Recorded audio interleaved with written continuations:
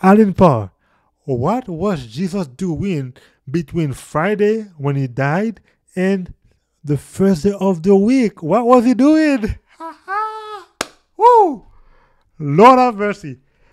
Allen Parr, there is one day between Friday and Sunday. What day is it? It's Saturday. On that day, Christ was resting in the tomb. Christ obeyed the fourth commandment even at his death. Ha! Oh, Lord have mercy. Woo! Allen Parr, did you know that? Didn't Jesus observe the Sabbath? Okay.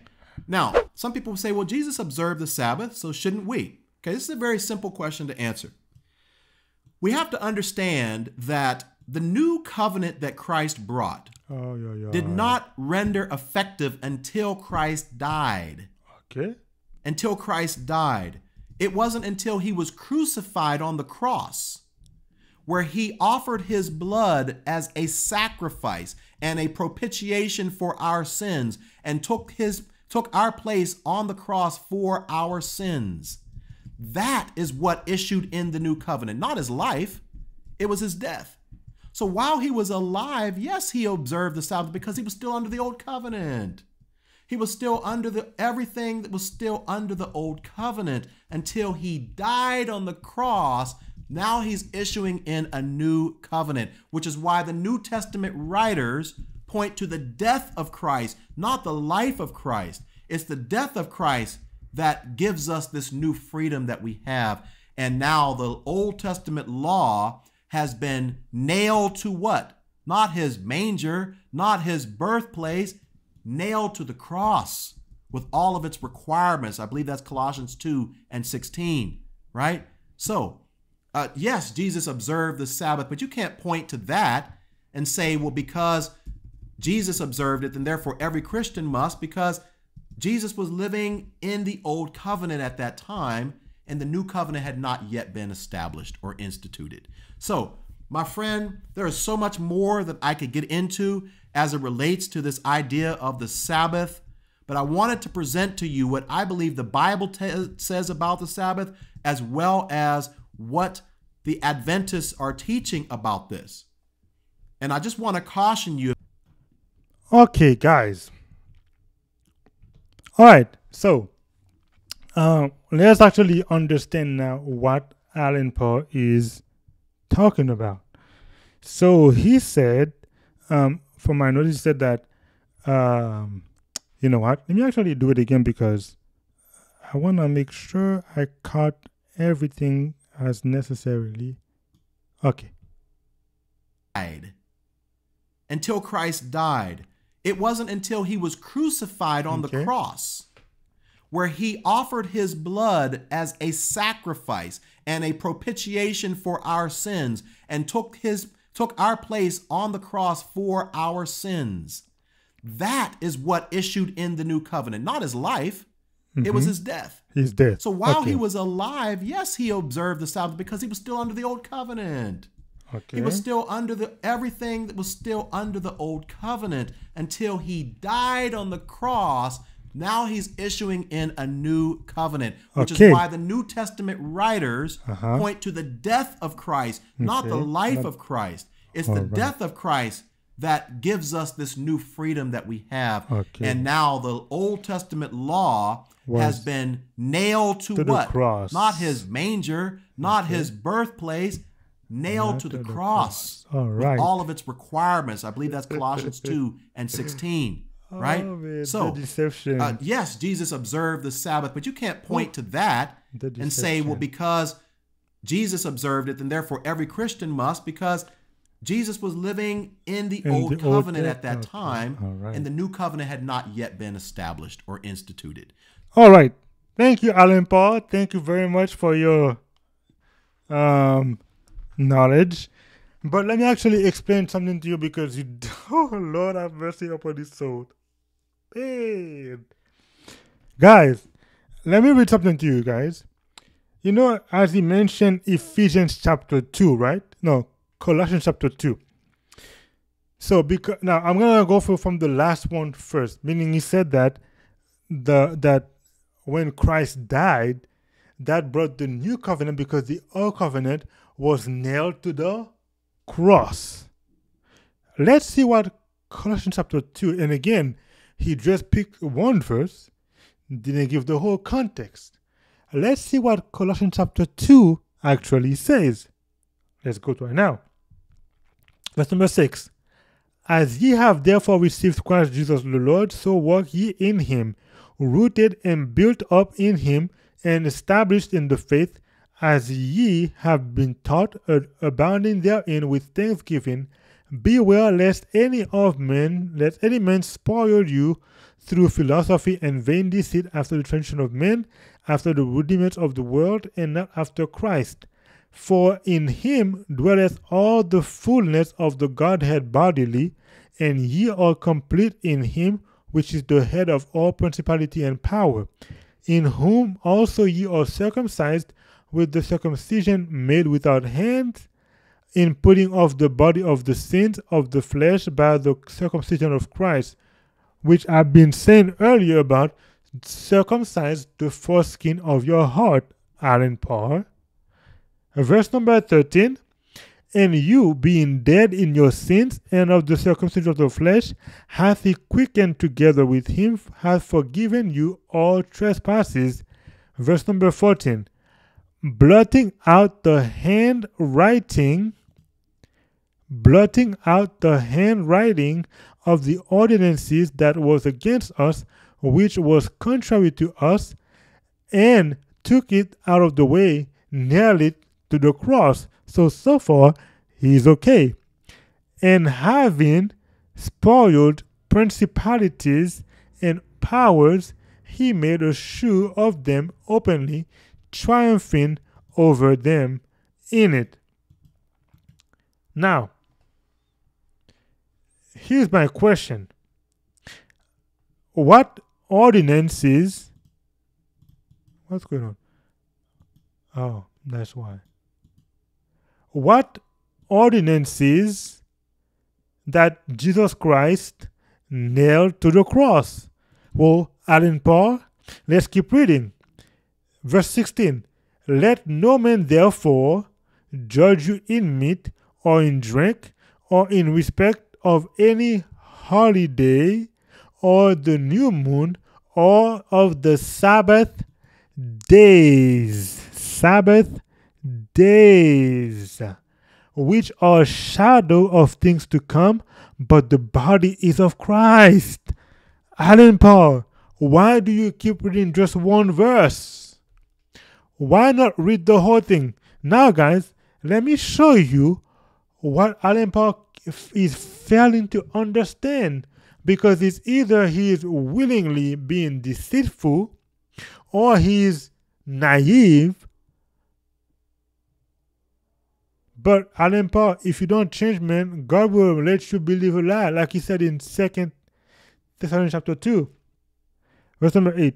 And then shall the wicked be revealed, whom the Lord shall consume with the spirit of his mouth, and shall destroy with the breath of his coming.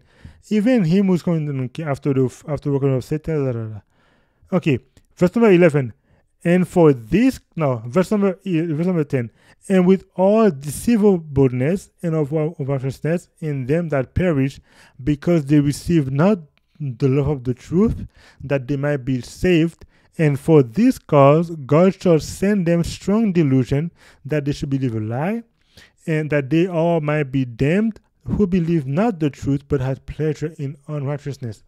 Allen Parr, I need you to examine yourself, my friend, because you are at war against God's word.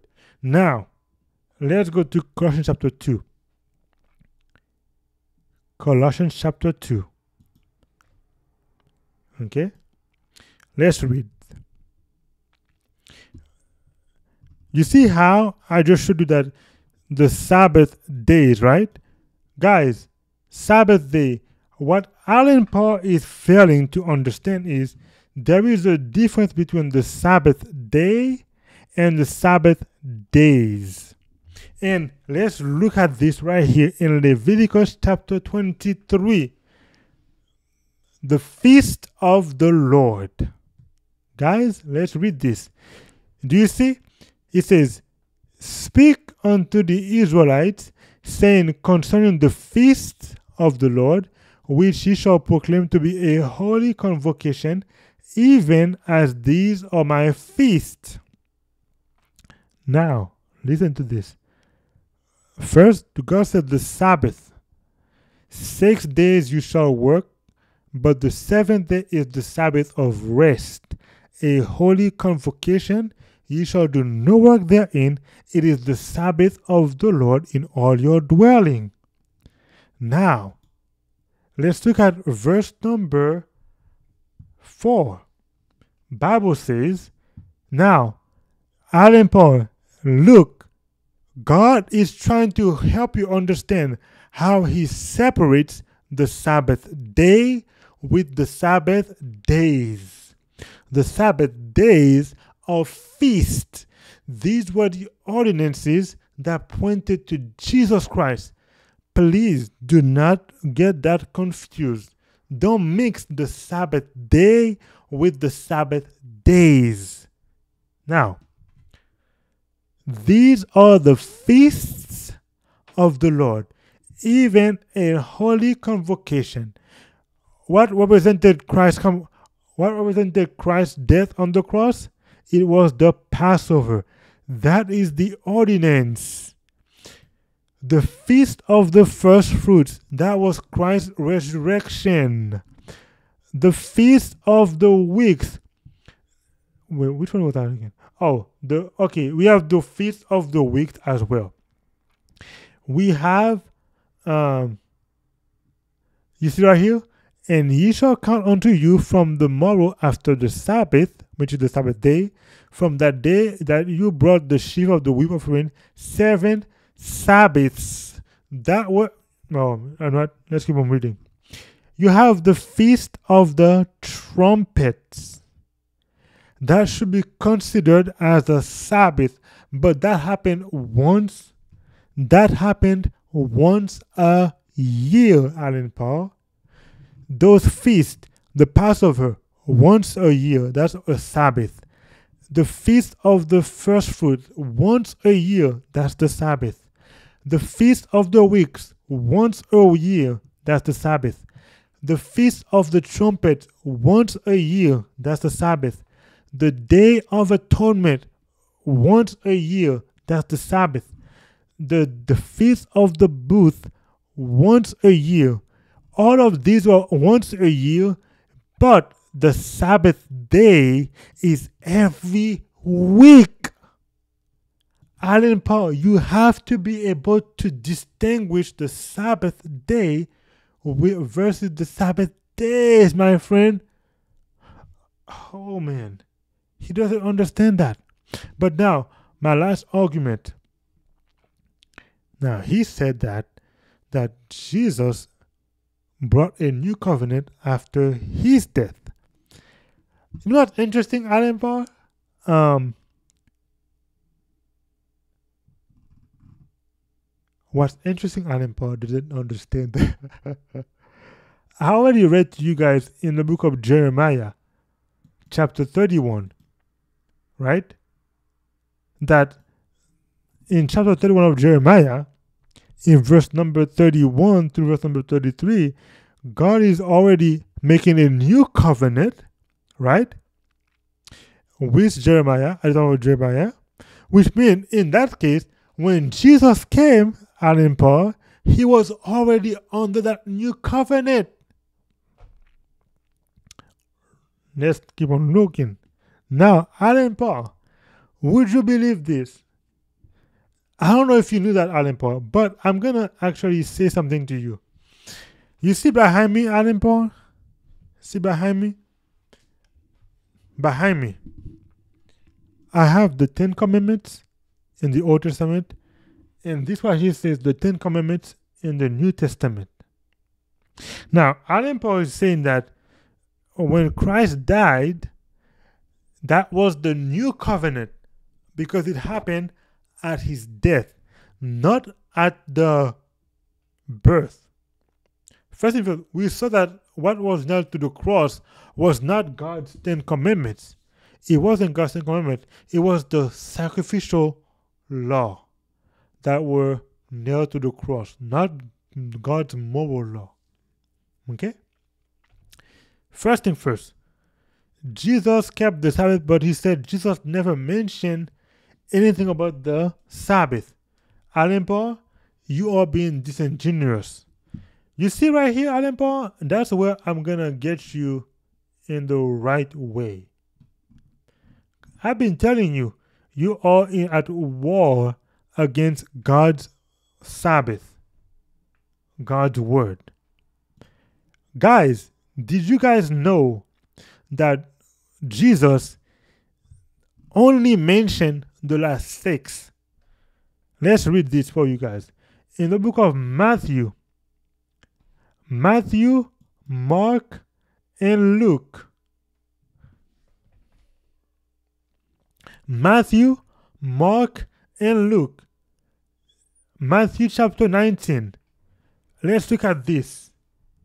I'm going to show you guys in all the way that God Jesus didn't mention anything about the commandment regarding God. He make it seem as if Jesus mentioned everything but the Sabbath, but he is deceiving you guys. Watch this. Matthew chapter 19. We have the story of the rich young ruler. Rich young ruler, right? Verse number 16. And behold, Matthew chapter 19, one came unto him and said, Good master, what good thing shall I do that I may have eternal life? He said unto him, Why callest me thou good? There is none good but one, that is God. But if you if thou wilt enter into life, keep what? The commandments. And he said unto him, Jesus, which one do I keep? Jesus said, What? Thou shalt not murder, thou shalt not commit adultery, not steal, not bear false witnesses, honor thy father and thy mother, and shall love thy neighbor as thyself. Did Jesus mention anything about not to have any other gods before God? Allen Parr? Allen Parr, did Jesus mention you shall not have any other God before me? No.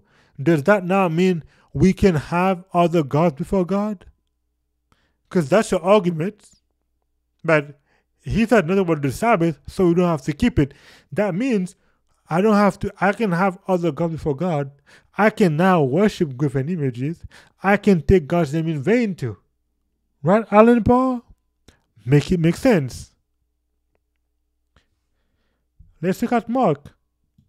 In Mark, Mark chapter 10, we have the same thing. In Mark chapter 10, we got the same thing. Same thing. Mark chapter 10. You see, right here he says what? You know the commandments. Do not commit adultery. Do not kill, steal, bear false witness, defraud not, or the mother and father. Did Jesus mention anything about the anything about not to have any other God before God, not to worship graven images, or take God's name in vain, or the Sabbath? Now that means since you say because Jesus didn't mention the Sabbath, then he didn't also mention other gods before God, idol worship, and take God's name in vain. So now we can all worship idols, we can take God's name in vain, and we can also have other gods before God. Luke, same thing in Luke. Luke chapter 19. No, Luke chapter 18. Same thing. We have the same thing in Luke chapter 18. The rich ruler came to Jesus Christ, and again, the same thing. What did Jesus say? Jesus did not mention anything about the first four commandments, Allen Parr. It wasn't just the Sabbath. It was he didn't mention anything about the first four commandments because he they knew to keep the first four. Their issue was with the last six, Allen Parr. Not the Sabbath, man. not the Sabbath. Now, Allen Parr, here's the best thing that you never thought about. You mentioned that Jesus Christ, at his death, he actually um, brought a new covenant. I already mentioned that that was not a new covenant because since Jeremiah, it always said that new covenant. But did you know, Allen Parr, that Jesus, even at his death, he kept the Sabbath? Allen Parr, did you know Jesus kept the Sabbath at his death? Guys, Allen Parr did not know Jesus kept the Sabbath at his death. He says right here. Behind me, we have in Luke chapter 23, verse number 55, 54. Verse number 54 say, when after Jesus was when Jesus was buried, before he was buried, Bible says this. Verse number 50 oh my bad. Verse number 50 to 56. And behold, there was a man named Joseph, a counselor, and he was a good man and a just. And as you can read, he says, This man, verse number 52, went to Pilate and begged the body of Jesus, and he took it down and wrapped it in linen and said, and put it in a sepulchre. Okay? But what was next in verse number 54? And that was the preparation, and the Sabbath drew on. So Jesus died on a Friday which is called preparation for the Sabbath. So on the Friday, he was working for our salvation. On Sunday, on the first day of the week, when he rose from the dead, he was working for our salvation because he had to go up to the Father and put on the sacrifice. What, Allen Parr, what was Jesus doing between Friday when he died and the first day of the week. What was he doing? Woo! Lord have mercy. Allen Parr. There is one day between Friday and Sunday. What day is it? It's Saturday. On that day, Christ was resting in the tomb. Christ obeyed the fourth commandment even at his death. Ha! Oh, Lord have mercy. Woo! Allen Parr, did you know that?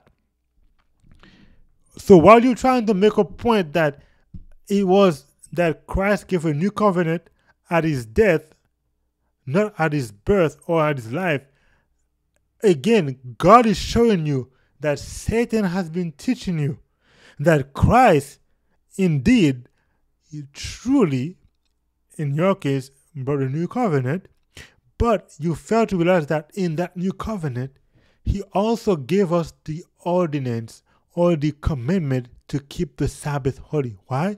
Because even though you make it seem like it was at his death that at his death that the covenant was made, at his death he kept the Sabbath holy.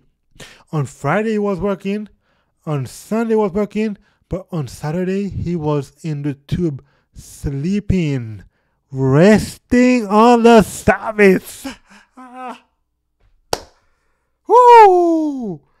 Isn't that good, Allen Parr? Isn't that good? Now, let me actually show you something right now. You said that the old, the New Testament people never mentioned about the Sabbath, right? This right here that is the that is the Ten Commandments in the Old Testament in Exodus chapter 20. Okay? This is the Ten Commandments in the New Testament. Let me read it to you. The first commandment says this. In Matthew chapter 4, verse number 10. Okay? It says, Thou shalt worship the Lord thy God, and him only shall thou serve thou serve. That's the first commandment, which is in the Exodus chapter 20. In the New Testament, in the first John chapter 5 verse 21, it says, Little children, keep yourselves from idols. That's equivalent to the second commandment in Exodus chapter 20. Okay? In the third commandment, it says in First Timothy chapter 6, verse number 1, let as many servants as are under the yoke count their own masters worthy of all honor, that the name of God and his doctrine be not blasphemed. That's the equivalent in chapter 20, verse number, uh, the third commandment in chapter 20 of Exodus. I'm to skip the fourth one because that's the best one. I'm to leave it for last. We're to keep, we're to look at number 5, 6, or through 8. Number 5, Matthew 19, verse 19, and Ephesians chapter 6, verse number 2 says, Honor thy father and thy mother. Ma- Romans 13, verse 9, Matthew 19, verse 18 says, Thou shalt not kill. Romans 13, verse 9, Matthew 19, verse 18 says, Thou shalt not commit adultery.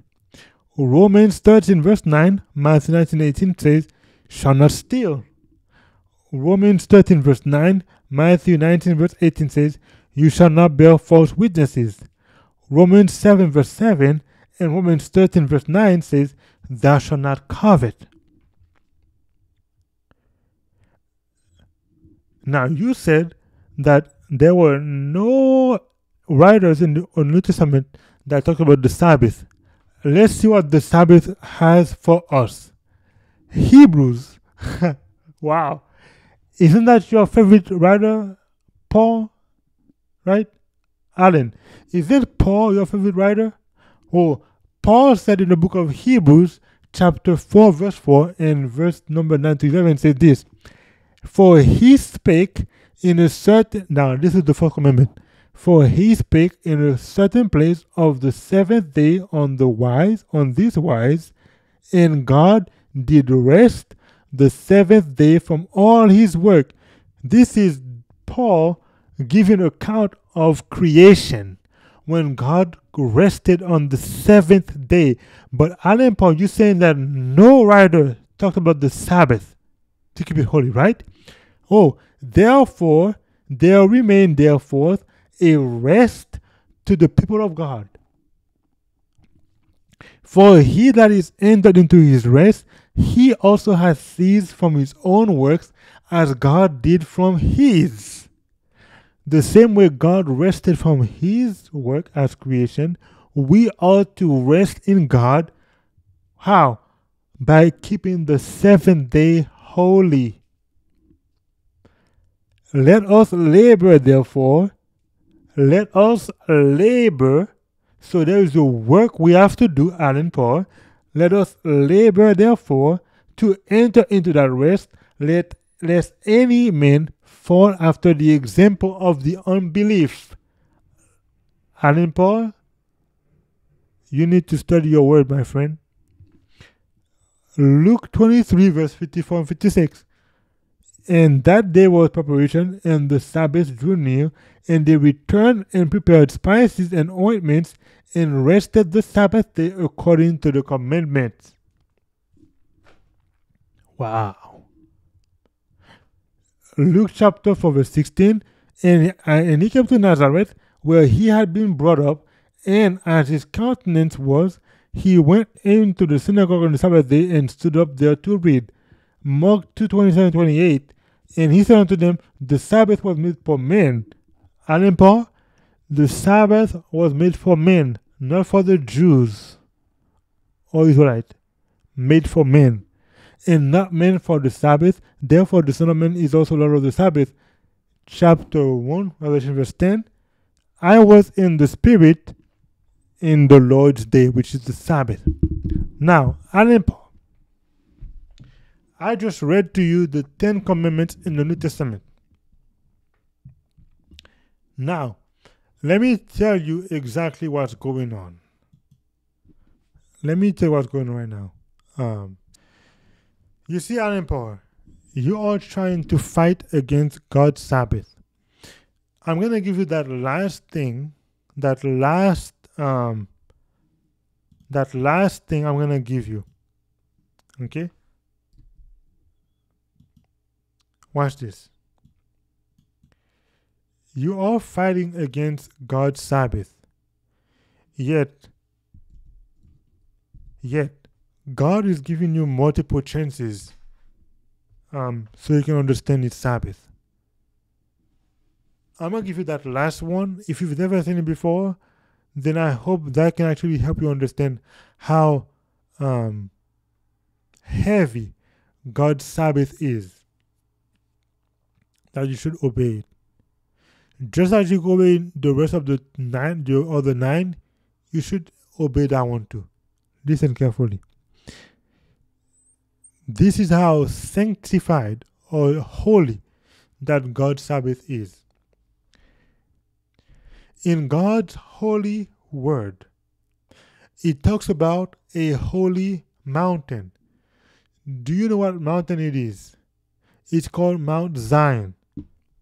In God's holy word, you have the holy mountain called Mount Zion.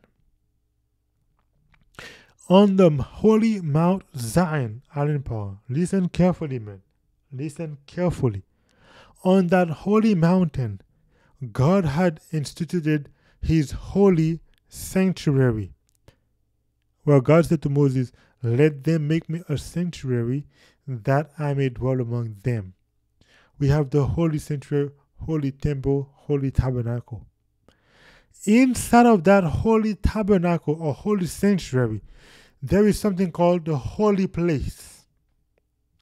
And beyond the holy place, Allen Parr, there is something called the most holy place. And within that most holy place, Allen Parr, I'm just trying to help you understand how holy the Sabbath is.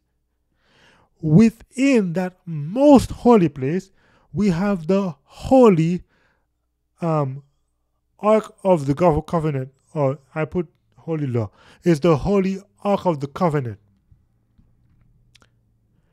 Within that Holy Ark of the Covenant, we have the Holy Law of God. Okay, Parr.